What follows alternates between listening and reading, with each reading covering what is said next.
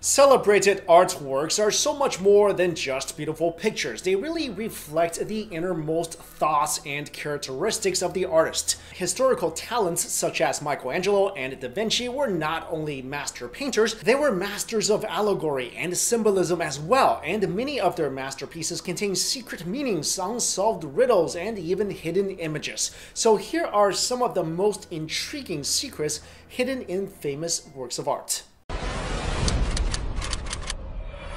Number one, the many, many mysteries of the Mona Lisa. Da Vinci's masterpiece at the Louvre in Paris is arguably the most recognizable painting in the world, and there's me picking her nose. Anyway, the painting itself remains an unsolved riddle. A nameless woman with that I just farted smile on her face. No one knows who she was. Who was she to Da Vinci? And if she was really smiling. Other than the obvious mysteries that surrounds this painting, hidden messages and clues continue to be discovered.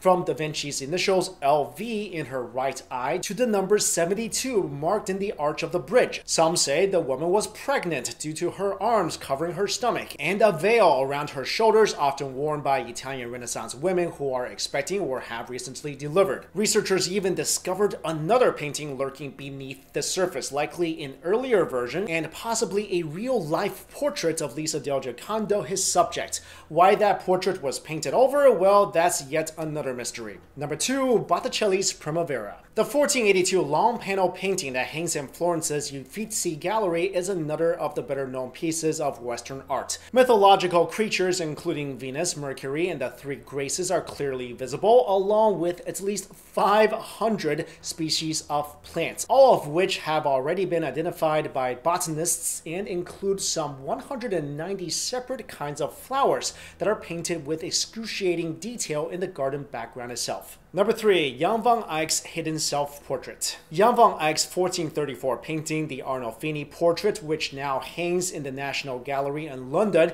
is a beautiful depiction of a wife and her husband and shows off Eyck's fascination with the effects of light, which is seen in the intricate folds of her dress, the chandelier above their heads, and the spherical mirror that hangs on the opposite wall, reflecting the scene back to the viewers. If you look closely and possibly with the help of a magnifying glass, you can make out two other figures painted in that reflection standing where the viewers presumably would. One is likely the artist himself, with his arms raised as if to greet those looking at the painting. Number 4. Picasso's The Old Guitarist. Money ran especially low during Picasso's blue period from 1901 through 1904, so the artist took to repurposing and reusing what supplies he already owned. The Old Guitarist, one of his more haunting and iconic pieces made during that time was actually painted over a previous work. So if you look closely at the man's neck, you can see the obvious outline of a woman's face and figure,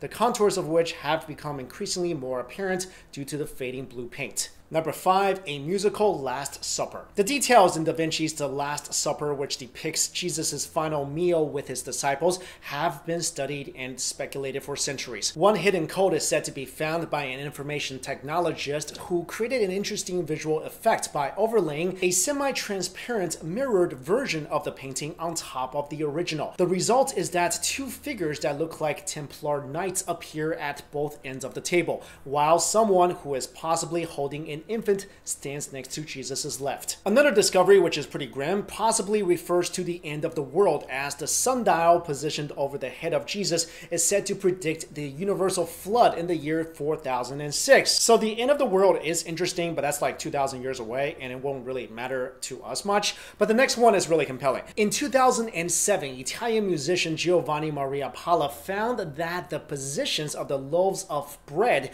in the apostles' hands when read from right right to left, which is Da Vinci's own unique writing style, form a 40 second musical composition echoing a requiem. It's very possible Da Vinci did this on purpose as he was an accomplished musician on top of being an artist, inventor, Ninja Turtle. Number 6. The creation of Adam. Maybe it was just coincidence, but the similarities are simply astonishing. Michelangelo, who was always intrigued by the human anatomy and who was dissecting human corpses at the age of 17 in the church cemetery, uh, Dexter much. Anyway, he seemed to have taken inspiration from the human body to paint the creation of Adam. Neuroanatomy experts say the level of detail in the painting shows an accurate and precise depiction of the human brain, from the cerebellum and optic chiasm to the pituitary gland and the vertebral artery. The painting is one of the most famous works in the Sistine Chapel, and it seems to have also been a lesson in the brain's anatomy. While some might dismiss this as a coincidence, experts suggest that it would be harder to explain that this was not Michelangelo's intention. Even that green sash running down the spinal column follows the path of the vertebral artery perfectly. Number 7. Giving the Pope the finger. The ceiling of the Sistine Chapel, which depicts multiple scenes from the book of Genesis, is considered one of Michelangelo's greatest masterpieces. For centuries, people of all faiths have come to Rome and the Sistine Chapel and just to stare at the ceiling at Michelangelo's work. To most people, it may just be a beautiful vision from the Old Testament, frescoes painted on wet plaster of the stories of the creation of the universe, Noah's Ark, and Adam and Eve. But this could also be the most famous piece of work where someone is flipping someone else the bird. You see, while Michelangelo spent four years completing the many panels of the work, he was never on good terms with his patron, Pope Julius II, whose aggressive fight for power earned him the nickname the Fearsome Pope. Above the door the Pope would use for entry into the chapel, Michelangelo painted Julius's likeness on the face of the prophet Zechariah. Over his shoulder, one can see a little angel with his fingers curled in a way to make an obscene gesture known in Italy as giving the fig. Speaking of all these awesome pieces of work, I was in Paris um, early this year. Uh, that's when I went to the Louvre, saw Mona Lisa.